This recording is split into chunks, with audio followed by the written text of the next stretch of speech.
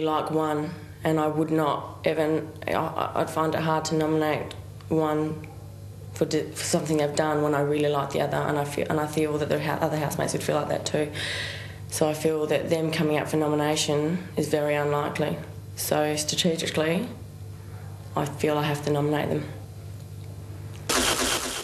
Oh, that's our first strategic nomination.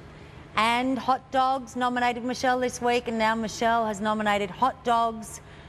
And that is the first time the Logans have been nominated. I thought last week Michelle was in love with Greg. Am I right? Am I wrong? What's going on? Time to turn the spotlight now on the other love of her life, the Shearer.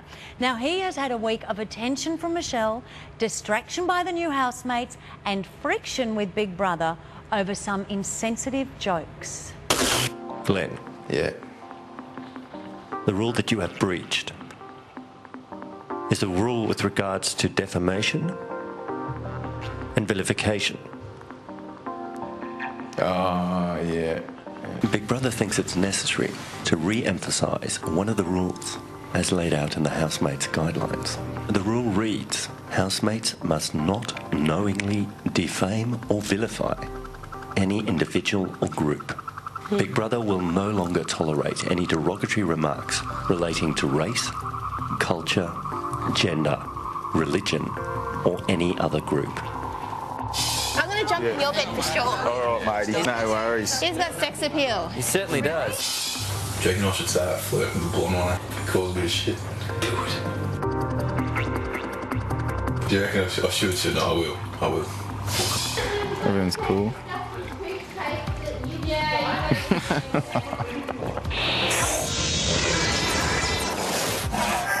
Glenn, who do you nominate for two points for eviction and why? Uh, nominate Geneva for two points. Um, reasons being, I find her too too dominant and too bossy. The other day, I I, I don't ask for very much, and I asked for a little bit of sugar, and she blatantly straight out said, "You're not having any." She didn't say, "Give me a reason." She just said, "No, you're not having any." Um, it made me feel very very angry and like a little child, and um, very sort of um, very insignificant, really. Who do you nominate for one point for eviction and why? For one point, I nominate Dean.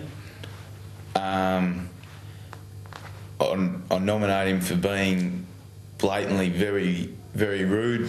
The main example is when um, the new housemates come that night and he was extremely rude to one of the new housemates. The way it affects me in the house is it created a very big tension and um,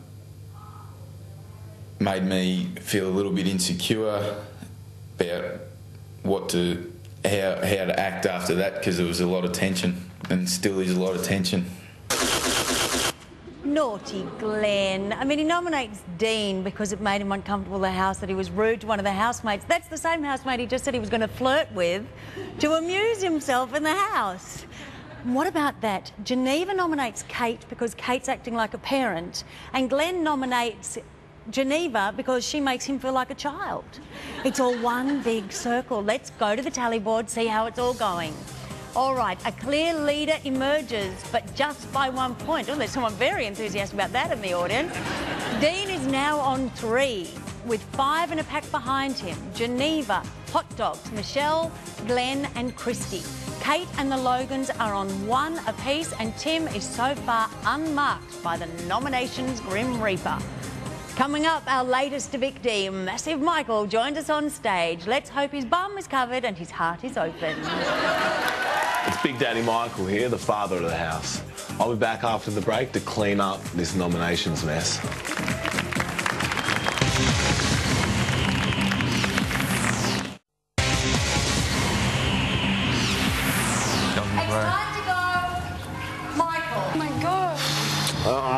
See ya. Well done, dude. I couldn't get over she was crying. For starters, it wasn't crocodile tears, okay? I genuinely have feelings for Mickey. I can't believe that somehow she made the night about herself. Welcome back to nominations, where it's time to meet the man who walked out of the house last night and walked straight into the arms of an all night party, Michael.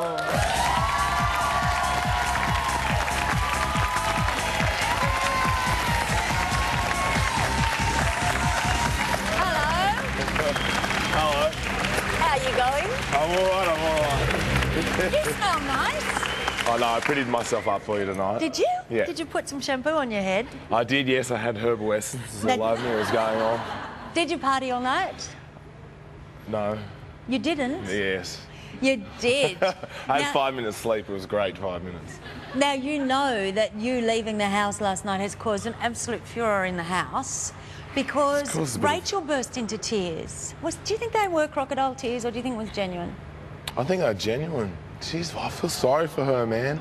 Why? I think everyone's focused on the fact that she's a bit of a pain in the ass rather than the fact that it's really, really hard to go into that house, especially after four weeks. And she's only 22 years, years old, man. She's just a young girl. What about Bessa? Is she coping better?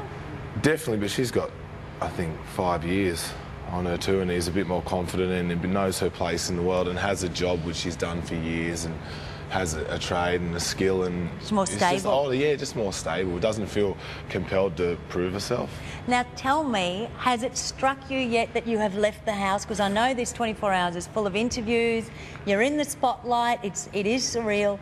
Have, have you thought, oh my God, I'm actually out of there? I'm thinking, don't look at my feet. I got told I look at my feet too much. I'm gonna make eye contact. Um, I went on I the claw. look at your feet. I went onto the claw today, and I felt really, really sick afterwards. And that was a big come down to earth. You're outside of the house.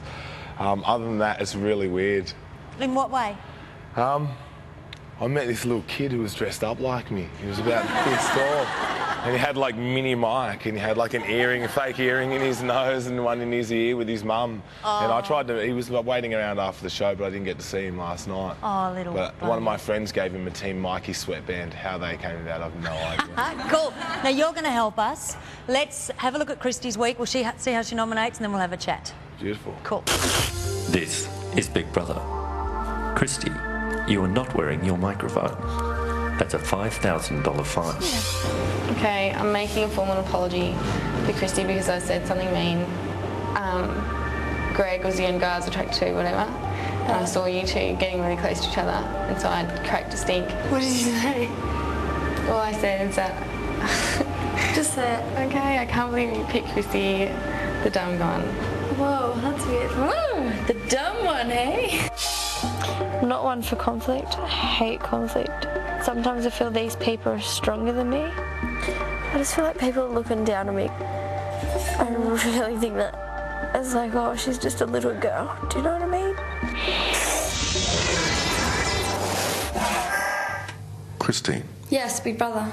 who do you nominate for two points for eviction and why? Yep. For two points, I'm nominating Michelle. I'm finding her to be very inconsistent, um, in- inconsiderate.